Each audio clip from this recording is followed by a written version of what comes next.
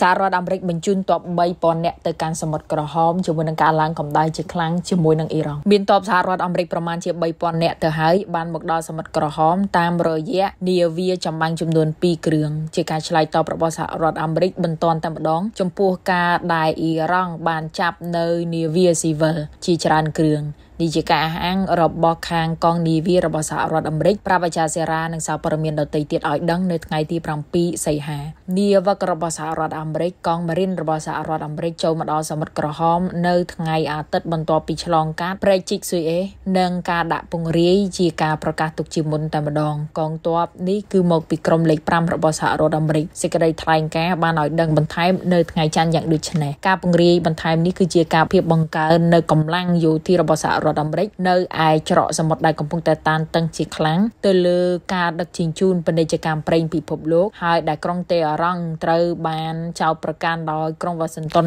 ចំពោះការបង្កនៅអំពើអស្ថិរភាពហើយក្រុងតេអារ៉ង់បានចោទប្រកាន់ទៅកាន់ក្រុងវ៉ាស៊ីនតោនវិញនៅថ្ងៃច័ន្ទថាសកម្មភាពនៃការបញ្ជូនកម្លាំងទ័ពរបស់ពួកគេទៅវិញទេជាការបង្កនៅអស្ថិរភាពនោះយោធាសហរដ្ឋអាមេរិកយ៉ាងណាមិញបាននិយាយថា អ៊ីរ៉ង់គឺជាអ្នកផ្ដើមគ្រប់រឿងតាមរយៈការរឹបអូសនិងត្រួតពិនិត្យនៅនាវាស៊ីវិល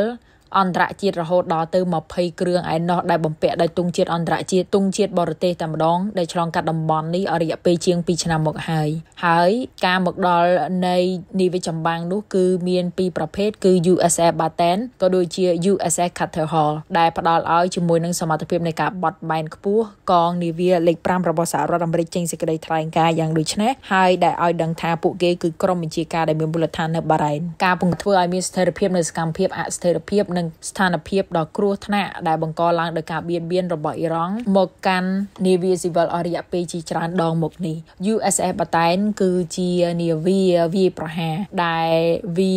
អាចដឹកជញ្ជូននៅយន្តហោះចម្បាំងហើយនឹងអាចសម្រាប់ការចោះចតនៃយន្តហោះចម្បាំងផងដែរ USS Carter Hall វិញគឺជានាវាដែលដឹកនៅកង Marine ហើយវាហ្គានិងដែនដីរបស់វាមានលក្ខណៈខ្លីជាងបាតែននៅក្នុងថ្ងៃច័ន្ទមានការបើកសន្និសីទដោយខាងក្រសួងការបរទេសរបស់អ៊ីរ៉ង់លោកណាសៀខាណានីដែលជាអ្នកនាំពាក្យបាននិយាយថាការពង្រាយរបស់សហរដ្ឋអាមេរិកគឺគ្រាន់តែដើម្បីអត្ថប្រយោជន៍របស់ក្រុងវ៉ាស៊ីនតោនខ្លួនគេតែប៉ុណ្ណោះវត្តមានរបស់យោធាសហរដ្ឋអាមេរិកនៅក្នុងតំបន់នេះមិនដែលបង្កើតឡើយនៅសវត្ថភាពឬសន្តិសុខអត្ថប្រយោជន៍របស់ពួកគេនៅក្នុងតំបន់នេះបានរុញច្រាននិងបញ្ឆេះឲ្យមានអស្ថិរភាពនិងអសន្តិសុខទៅវិញទេ យើងសូមចោទប្រកាន់ហើយយើងបាននិយាយថាប្រទេសរបស់យើងនិងប្រទេសនៅឯមជ្ឈមបូព៌ាសិទ្ធិមានសមត្ថភាពនៅក្នុងការធានានៅសន្តិសុខដោយខ្លួនពួកគេផ្ទាល់ការពង្រាយចុងក្រោយនេះកើតមានឡើងក្រោយពីក្រុងវ៉ាស៊ីនតោនបាននិយាយថាកម្លាំងទ័ពរបស់ពួកគេបានរាំងខ្ទប់ពីរដងមកហើយដោយអ៊ីរ៉ង់គឺនៅក្នុងពេលនោះអ៊ីរ៉ង់បានព្យាយាមធ្វើការត្រួតពិនិត្យប្រេង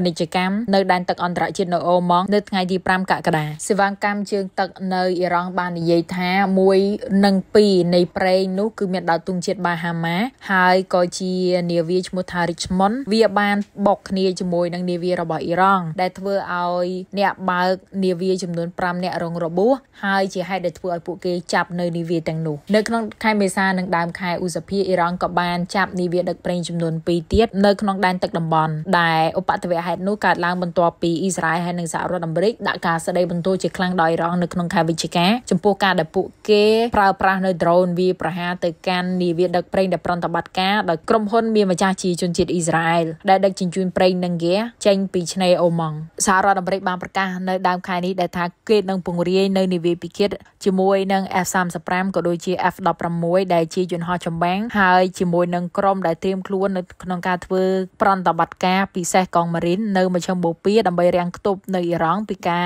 រឹបអូសនៅនាវាដទៃទៀតនៅមជ្ឈមបូព៌ានេះតែម្ដងនៅសប្តាហ៍មុននេះយោធាសហរដ្ឋអាមេរិកបានពិចារណានៅក្នុងការបង្កើនកម្លាំងទ័ពរបស់ពួកគេពាក់ព័ន្ធជាមួយនឹងការពិនិត្យនាវាស៊ីវិលនិងការពារនាវាស៊ីវិលទាំងឡាយដែលឆ្លងកាត់ទាំងច្រកសមុទ្រអូម៉ូដើម្បីបញ្ឈប់អ៊ីរ៉ង់ចំពោះការបៀតបៀននាវាទាំងឡាយនោះ តេរ៉ង់បានឆ្លើយតបកាលពីថ្ងៃសៅរ៍ដោយនិយាយថាគេបំពាក់ជាមួយនឹងនាវាជើងទឹក drone និងមីស៊ីរយៈចម្ងាយដល់ទៅ1000គីឡូម៉ែត្រដែរណោះលោកឧត្តមសេនីយ៍ម្នាក់របស់អ៊ីរ៉ង់ឈ្មោះថា Aboza Sekarachi ហើយក៏ជាអ្នកនាំពាក្យនៃកងទ័ពជើងគោករបស់អ៊ីរ៉ង់បានឲ្យដឹង តាមរយៈទីភ្នាក់ងារសារព័ត៌មានតាស្នីមរបស់អ៊ីរ៉ង់ថាទៅកាន់សហរដ្ឋអាមេរិកថាតើអ្នកមកធ្វើអ្វីនៅជូនសមុទ្រអូម៉ង់និងមហាសមុទ្រឥណ្ឌាមានការងារអីសហរដ្ឋអាមេរិកនៅទីនេះតើជំនួយរបស់អ្នកនៅទីនេះជាអ្វីហើយជាមួយគ្នានេះដែរលោកក៏បាននិយាយថាអាវុធរបស់ក្រុមឆ្មាំបដិវត្តមានច្រើនប្រភេទណាស់និយាយពីដ្រូនគឺមានរាប់រយមីស៊ីលប៉ាឡេស្ទិកនិងមីស៊ីគ្រូក៏មានរាប់រយបាញ់បានសិតតែរយៈចម្ងាយ300ទៅ1000គីឡូម៉ែត្រជាមួយនឹងប្រព័ន្ធនិងឧបករណ៍នានាដែលមានសមត្ថភាពនៅក្នុងការការពារសមុទ្ររបស់យើងនៅពេលសប្តាហ៍ថ្ងៃនេះសមុទ្រក្រហម គឺជា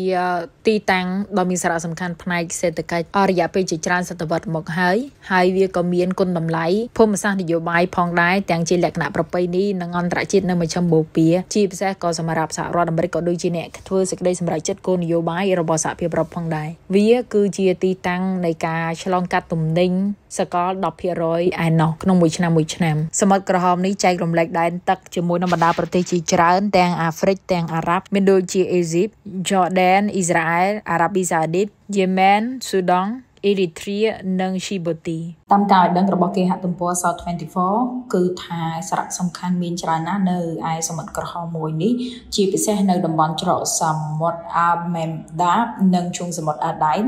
ដែលដឹកនាំទៅកាន់សមុទ្រអារ៉ាបៀន នៅភាគខាងជើងវាជាប់ជាមួយនឹងព្រែក Chicxulub